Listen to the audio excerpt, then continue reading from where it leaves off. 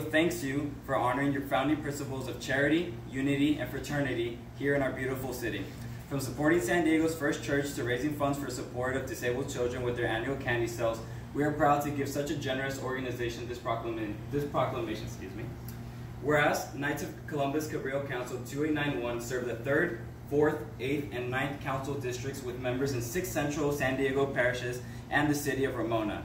Now therefore, be it proclaimed that I, Victor Lopez, on behalf of Kevin Faulconer and the Mayor's Office, uh, and the City of San Diego, for and on behalf of citizens of San Diego, do hereby proclaim July 23, 2019 as Knights of Columbus Cabrillo Council 2891 75th anniversary here in the City of San Diego.